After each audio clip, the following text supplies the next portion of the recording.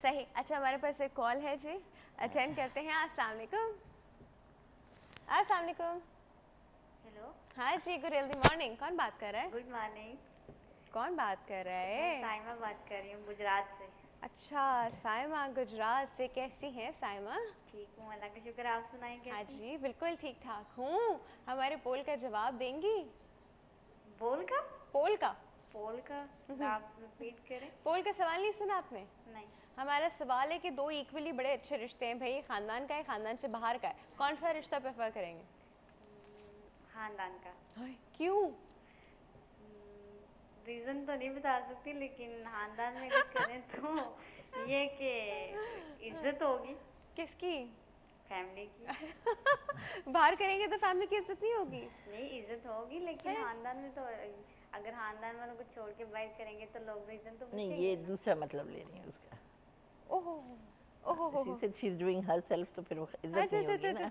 Okay चले ठीक है जी। अच्छा क्या पूछना चाहेंगी साइमा? मैं इनसे ये पूछना था कि मेरे फेस पे ना ब्लैक हेड है तो क्या करूँ? फेस पे ब्लैक हेड्स हैं? हाँ आप इनको रिमूव कराती हैं साफ़ कराती हैं? नहीं। हम भी बता रहे हैं फिर आपको ठीक है? Thank you so much for call black heads white heads open pores ये सब क्लिनजिंग में आता है। क्लेंसिंग है पहला और फिर देखिए when you follow a process with the professional आप लेते हैं तो पहला आपका क्लेंसिंग फिर टॉनिक फिर डीप क्लेंसिंग फिर मसाज स्टीम मतलब जो भी है पूरा एक प्रोसेस है मास्क तो वो आप जब एक प्रोसेस से किसी चीज़ को गुजारते हैं तो you get the best result. अगर घर पे आप हैं तो इनको मैं कहूँगी रेगुलर क्लेंसिंग रूटीन तो रखें रखें उसके साथ एक्सफोलिएशन ज़रूरी है hmm. अब रेसिपीज़ मैं अगर घर की दूँ या बाज़ार की दूँ मगर ये है कि या तो आप फिर क्वालिफाइड जो प्रोडक्ट्स जो कहलाते हैं ना जैसे डर्मल इंस्टीट्यूट्स के जो हों रिसर्च प्रोडक्ट्स जो हाँ, हैं वो किसी सही ब्यूटिशन से बात करके या थोड़ा सा आजकल नेट अच्छा, भी है अच्छा भाभी एक सवाल हम बहुत सारे लोग ऐसी क्रीमें यूज़ कर रहे हैं भी वो ऐड आते हैं उसमें छः सात अच्छी अच्छी क्वालिटीज़ जी ये मार्क चला जाएगा ये हो जाएगा चीचक का मार्क चला जाएगा प्रेगनेंसी का मार्क चला जाएगा ये वो इतनी उसकी क्वालिटीज़ लिखी होती हैं वो पाँच सौ रुपये की डिब्बिया होती है ठीक है? हम हम नाम नहीं लेंगे। अच्छा। तो क्या इस तरह की चीज़ एकदम से यूज़ कर सकते हैं? बिल्कुल भी नहीं। है ना? देखो जब आपके पास मार्किंग्स पड़ रहे हैं फेस के ऊपर सब कुछ है तो it means you are in a problem और स्किन आपकी ज़्यादा हाइपर सेंसिटिव भी हो सकती है। हम्म। तो कोई भी चीज़ जो ज़रा सी भी आपकी लाइटनिंग एजेंट एड अप है उसमें कहीं भी किसी चीज़ में भी तो वो आपको एग्रीवेट कर सकती है। मतलब स्वेलिंग भी हो सकती है इन्फ्लेमेशंस भी हो सकती हैं हाइपर सेंसिटिविटी भी हो सकती है और regular use of lightening agents जो आप, आप करते हैं ब्लीचिंग एजेंट्स के तो वो आपको हाइपर सेंसिटिव कर देती है स्किन पतली भी हो सकती है। इसमें जब कोई चीज़ रिसर्च पे बनती है लाइक इवन बैलेंसेस के लिए अब स्पॉट्स के लिए एक रिसर्च ब्रांड पे है जस्ट स्पॉट्स पे आपको लगाने पूरे फेस पे नहीं लगाना जो मैं आपको कह रही थी हाँ। कि कुछ क्रीम्स होती हैं कि अब लाइटनिंग एजेंट्स आपके तीन स्पॉट्स पड़े मगर आप वो पूरी क्रीम पूरे फेस पे लगा रहे हैं हाँ वाई तो वो स्पॉट्स आपको कभी लाइट होते लगेंगे लगेंगे ही और नहीं। वो भी डैमेजिंग करेगा ना हाँ। स्किन को। क्योंकि जहाँ ज़रूरत नहीं है उसकी वहाँ आप यूज़ कर रहे हैं उसको तो इस वजह से थोड़ा सा अगर प्रोफेशनली आप एक एडवाइस लेके, अपना एक कंसल्टेशन लेके अगर अफोर्ड नहीं कर सकते, मेरे पास तो ये है कि अगर अफोर्ड नहीं कर सकते तो they just pay the consultation और मैं पूरा chart diet chart home cares सब बना के देती हूँ उनको। अच्छा मुझे एक बताइए वो ओपन पोर्स जो होते हैं बहुत लोगों का इशू है। भाई पोर्स ये वाले खुल गए खुले हुए खुले हुए। वो वो स्टीम कराने से डरते हैं ड्यूरिंग नहीं नहीं इससे देखो इसका बल्कि प्लेन स्टीम्स तो हम यूज़ ही नहीं करते। इसमें आपका ये है कि you need to get them diluted जब ऑयल क्लॉगिंग हुई हुई है आपकी उसके ऊपर सारा डस्ट और कार्बन लेड सब डिपॉजिट्स हैं you need a little steam not a steam because steam goes to hundred degree ठीक है? When you turn into ozone उसके साथ अच्छा। एडेड लाइट होती है जिसके साथ वेपर्स हो जाते हैं मगर माइल्ड हीट होती है आपकी तो वो इसको फिर अलग करता है वहाँ से। So then you apply the mask या कोई एक्सफोलिएशन तो वो ऊपर से क्लीन होता है। You need it there not much but you need it there you need that definitely you need बंद कैसे करें पोर्स देखो बंद करना तो बीमारी हो जाएगी। रिफाइंड द पोर्स है? तो आप जब भी एक सिंपल इस चीज़ को सोचो इतने बड़े बड़े होल रिफाइन कह रही हैं मैं उसको रिफाइन करना है ना हाँ। तो उसको रेगुलर मैंने कहा ना कि कहाँ ट्रीटमेंट चाहिए रेगुलर इनको हम वंस अ वीक देंगे पहले फोर नेक्स्ट मंथ में टू फिर वन ओके ट्रीटमेंट जो होगी ना क्योंकि देखो जैसे और एवरी डे आप यूज़ करेंगे जैसे एक बैग है तुम्हारा जब उसमें तुम कोई चीज़ बहुत भर दोगे तो वो खुल जाएगा बंद नहीं होगा। हाँ। जब तुम ऊपर से काम करने लगोगे you can refine. You can uh, refine. अच्छा कॉल है हमारे पास। ये अटेंड करते हैं। अस्सलाम वालेकुम। अस्सलाम वालेकुम। आवाज़ नहीं आ रही है सॉरी दोबारा कॉल कर लीजिए दूसरी कॉल अटेंड कर लेती जी अस्सलाम वालेकुम। वालेकुम अस्सलाम। Good, healthy मैं फराह morning. बात कर रही हूँ। सना। फराह फरा फरा कहाँ से? कराची से बात कर रही हूँ। कराची से बात कर रही हैं ठीक है। देर से आपने मुझे होल्ड पे रखा हुआ है कैसी है सॉरी बहन मुझे पता ही नहीं था। हाँ जी मैं बिल्कुल ठीक ठाक हूँ। और आपका प्रोग्राम माशाल्लाह बहुत अच्छा है। मैं डेली देखती हूँ मैंने कॉल फ़र्स्ट टाइम की है। क्या बात है।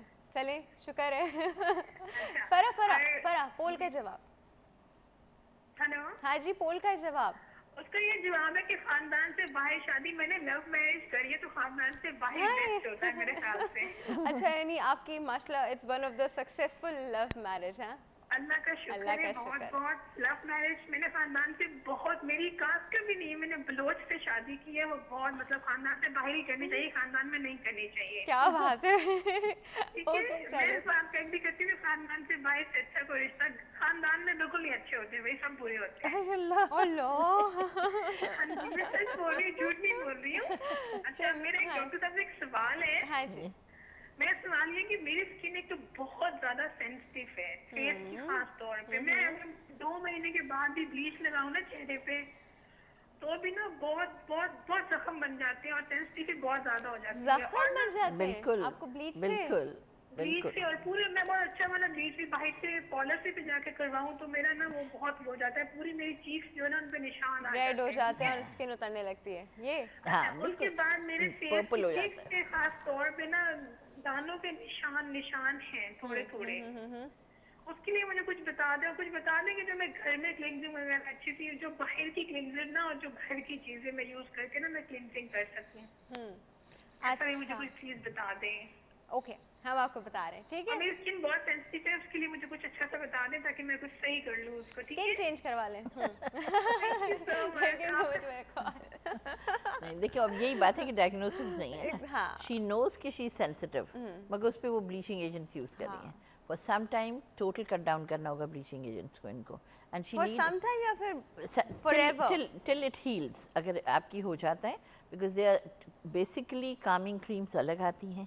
और इसके साथ एंटी रेडनेस क्रीम्स आती हैं जो रिसर्च ब्रांड्स के साथ हैं आप बिलीव करें सिर्फ़ अ मॉइस्चराइज़र अगर मैं आपको वो दे देती हूँ home use for a month जहाँ आपकी सेंसिटिव है you will see the change because inflammation जब आपकी ख़त्म होगी तो आप हर दफ़ा एवरी मंथ फिर वो उसको ब्लीच कर रही हैं। और अभी तो इनको एहसास नहीं बाद में ये पर्पल कलर की हो जाएँगी इवन हाइपर पिगमेंटेशन हो जाएँगी।